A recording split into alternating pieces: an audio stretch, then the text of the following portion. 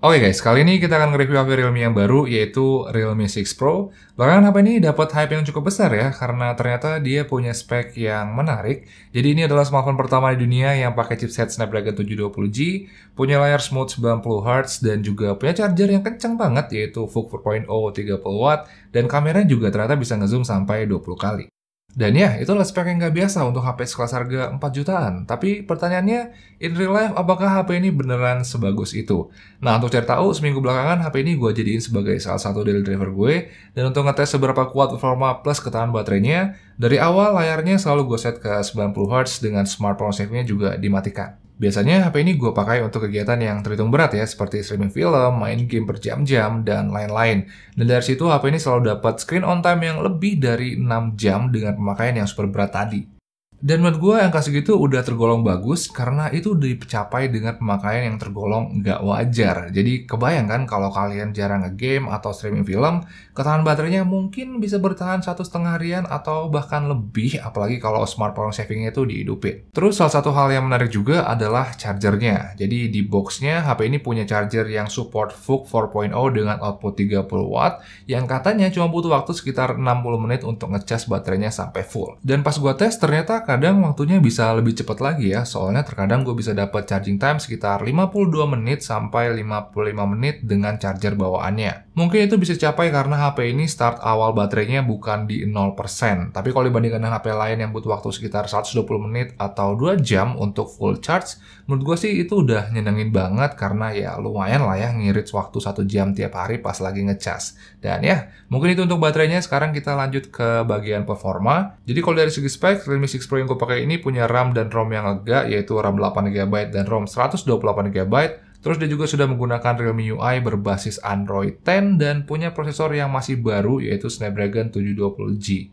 Tapi pertanyaannya, apakah performanya bagus? Kalau bagus atau enggak, sebenarnya itu tergantung cara penilaiannya aja ya. Kalau dibandingkan dengan HP flagship, ya jelas HP ini bakal kalah kencang. Tapi untuk HP 4 jutaan, menurut gue sih mungkin ini salah satu yang terbaik. Saat lihat nama prosesornya, awalnya gue kira HP ini bakal lebih lambat dari HP lain yang pakai Snapdragon 730G. Tapi walau harga dan CPU-nya beda, ternyata Snapdragon 720G ini punya performa yang mirip dengan Snapdragon 730G. Untuk seharian dan pemakaian berat, perbedaan performanya menurut gue itu sangat sulit untuk dilihat. Terus karena mereka sama-sama pakai GPU Adreno 618, performa gaming Realme 6 Pro juga terasa sama bagusnya dengan HP-HP yang pakai Snapdragon 730G. Mobile Legends bisa lancar di high frame rate, grafis ultra, sedangkan PUBG bisa lancar di smooth ultra. Dan itu udah bagus karena HP-HP yang pakai Snapdragon 730G biasanya harganya jauh lebih mahal dari HP ini. Jadi gue rasa kalau kalian ngincer performa tinggi, dengan harga yang terjangkau, chipset ini bisa jadi pilihan yang bagus.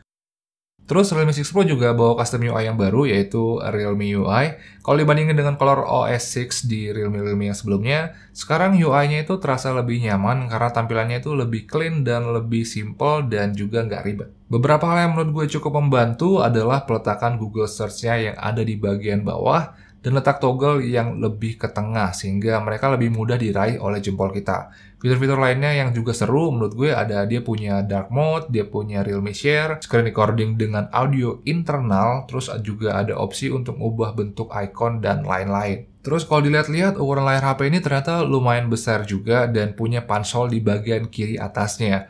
Bagus atau enggak tampilannya ini baik lagi ke personal preference aja ya, tapi yang pasti pansolnya ini enggak terlalu mengganggu sih pas dipakai. Panelnya sendiri masih menggunakan panel IPS, jadi warnanya memang enggak sevivid layar AMOLED, tapi untuk keseharian menurut gue warnanya udah fine-fine aja.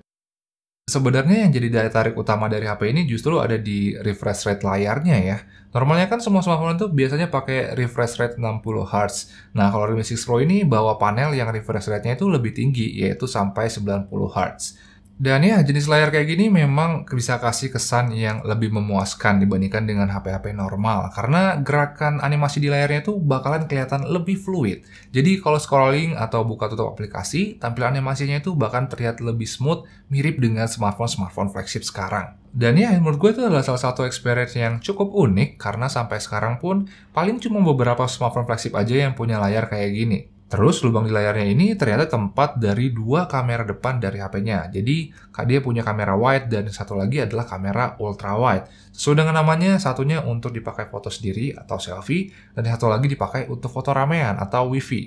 Hasil foto selfie-nya menurut gue sih udah terhitung bagus dengan skin tone yang normal. Hasil wavenya memang nggak setajam hasil selfie, tapi benefitnya kita dapat angle yang lebih luas. Jadi foto ramean bakal terasa jadi lebih mudah. Kamera belakangnya menggunakan 64 megapiksel quad kamera yang juga bisa take foto sampai 64 megapiksel, bisa juga take foto ultra wide dan juga makro. Tapi yang seru dari kameranya adalah sekarang dia punya lensa telephoto 12 megapiksel yang ngebuat HP ini bisa punya kemampuan zoom sampai 20 kali. Setelah gue coba foto-foto dengan HP ini, bisa gue bilang foto potretnya itu bisa ngasilin detail dan sparse objek yang bagus. Foto makronya ya lumayan, Ultra wide-nya bisa menghasilkan foto pemandangan yang bagus juga, tapi yang seru justru fitur zoom-nya. Jadi ini adalah hasil contoh foto satu kali zoom, ini dua kali zoom, dan ini lima kali zoom.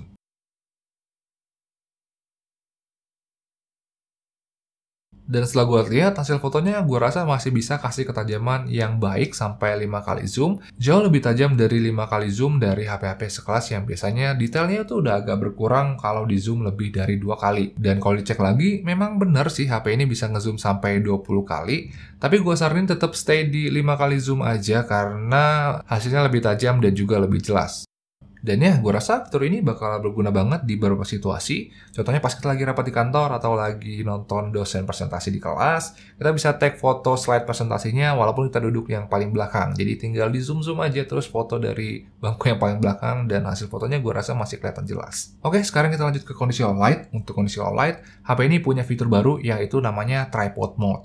Jadi kemarin gue sempet pasang HP ini di tripod untuk take beberapa sampel foto low light. Dan kalau dibandingin hasilnya, hasil dari tripod mode mode memang jauh lebih tajam dan lebih bersih dari noise. Prosesnya memang makan waktu sekitar 20-40 detik, tapi menurut gue itu wajar karena memang hasilnya juga jauh-jauh lebih bagus.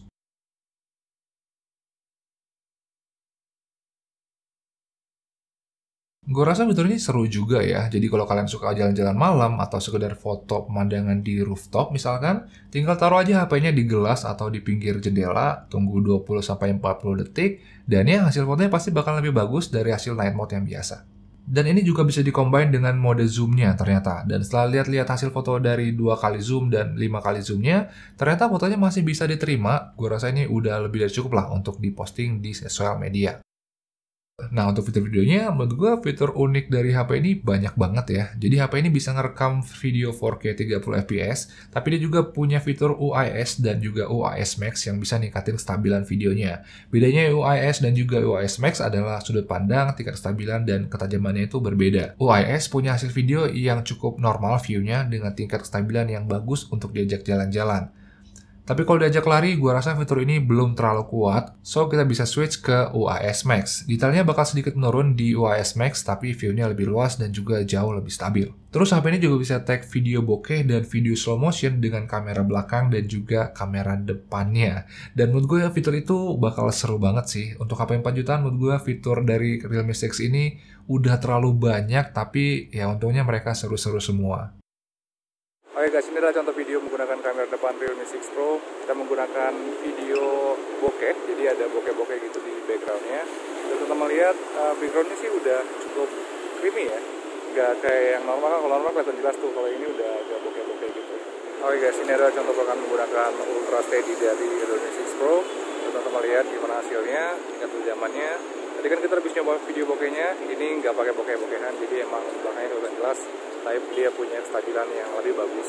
Dan ya kita lihat itu lagi jalan. Stabilannya gimana By the way, saat dipegang, bodi HP ini terasa agak berat dan ketebalannya nggak bisa dibilang tipis juga. Penyebabnya mungkin karena dia punya kapasitas baterai yang besar dan juga material back covernya yang udah pakai material kaca. Tapi walaupun kayak gitu, menurut gue sih pakai untuk seharian, ya kayaknya masih nyaman-nyaman aja. By the way, desain back covernya cukup unik. Bagus atau enggaknya, desainnya balik lagi ke selera masing-masing, tapi setidaknya warna light blue ini bisa jadi ciri khas yang bagus untuk Realme 6 Pro. HP ini belum punya NFC dan juga LED notifikasi, tapi dia punya beberapa fitur lain yang gak kalah keren seperti splash resistance, dia punya fingerprint scanner di bagian frame, dan juga sudah support Dolby Atmos sampai high-res audio.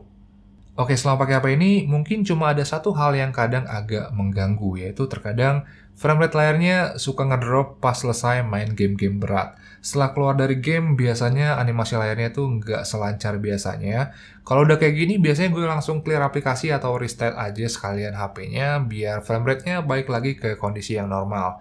Terus ini juga sering kejadian kalau baterainya kurang dari 10%, dan ya, cara ngatasinnya tinggal dicas aja karena setelah lewat dari 10%, biasanya gerakan layarnya kembali lancar seperti yang biasa-biasanya. Anyway, di luar dari itu semua, menurut gue Realme 6 Pro ini adalah smartphone yang sangat-sangat menarik. Fitur-fitur seperti high refresh rate display, VOOC 4.0, 20 time zoom, dan juga Snapdragon 720G ternyata bisa kasih sesuatu yang lebih seru kalau dibandingin dengan HP-HP sekelasnya.